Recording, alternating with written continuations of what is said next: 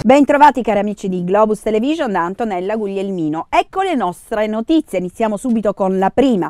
Il 21 febbraio alle ore 10.30 presso l'Aula Magna dell'Istituto di Istruzione Superiore Antonello si è svolto l'incontro sulle orme di Antonello tra gli studenti dell'istituto e Silvana Laspina, autrice del libro L'uomo che veniva da Messina, dedicato al grande pittore Antonello da Messina. L'incontro è stato coordinato da Maria Muscherà, dirigente scolastico dell'istituto e curato nella parte grafica dalla professoressa Flavia Tortorella.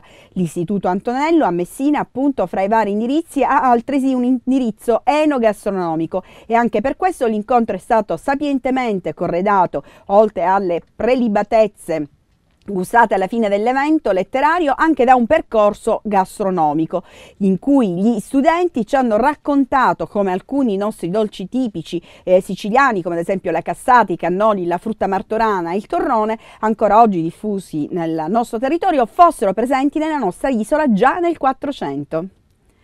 Cambiamo argomento, conto alla rovescia in vista della doppia manifestazione che sabato 11 e domenica 12 marzo vedrà protagonista a Messina Salvatore Brizzi, scrittore e conferenziere impegnato nella divulgazione di antichi insegnamenti. Brizzi per la prima volta in Sicilia, ospite dell'associazione Anturium Rosa, sabato 11 marzo alle ore 18 al Teatro Annibale Maria di Francia. Si parlerà sul tema il significato spirituale della magia, introdotto da Mirella Restuccia, presidente dell'associazione Fondazione Anturium Rosa.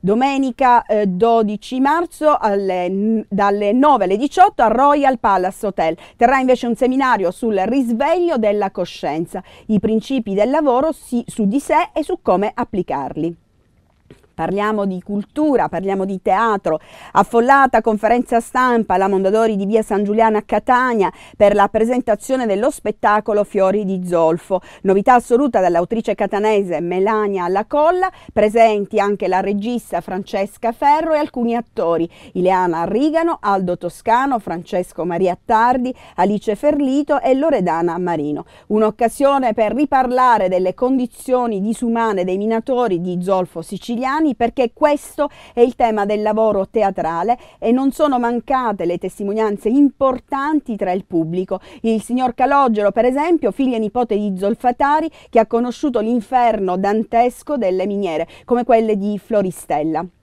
L'autrice si è detta soddisfatta del suo testo che affonda le radici nel verismo verdiano, ma da cui si distacca per il senso di speranza e per il ruolo fondamentale della memoria. Lo spettacolo debutterà al Teatro ABC di Catania l'11 marzo alle ore 17.30 e alle ore 21. And the Academy Award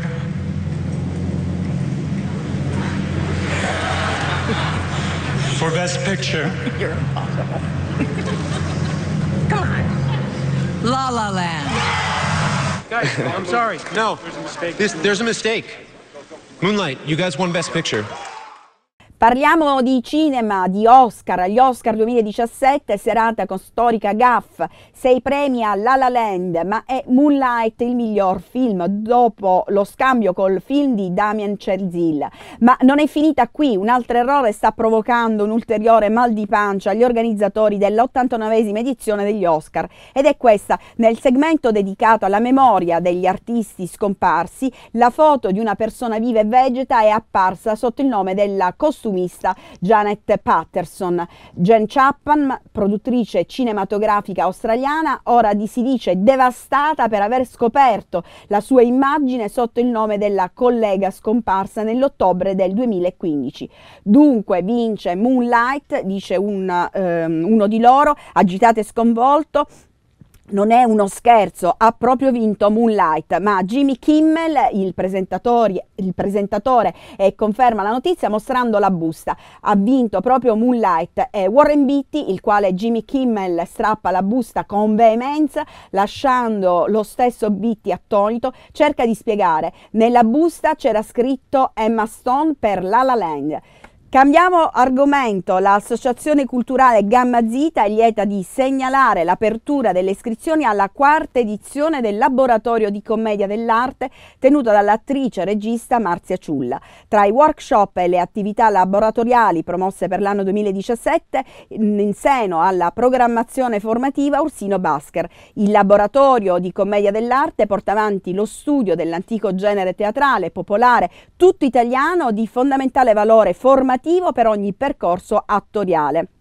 La commedia dell'arte è nata all'incirca metà del XVI secolo in Italia, ma si è diffusa in tutta Europa come commedia degli zanni, commedia all'improvviso e simili, da, mm, recitata da compagnie di attori professionisti e caratterizzata dalla interpretazione teatrale improvvisata sulla base di cannovacci e dalla presenza di personaggi maschere. Si è nutrita per secoli dei suoni del grande patrimonio linguistico popolare italiano ed oggi oggi costituisce l'anello di congiunzione tra il teatro rituale pagano e il teatro dei professionisti, tanto da essere stata dichiarata patrimonio culturale immateriale dell'UNESCO. Questa era la nostra ultima notizia, grazie per l'attenzione, ci vediamo alla prossima edizione. Grazie.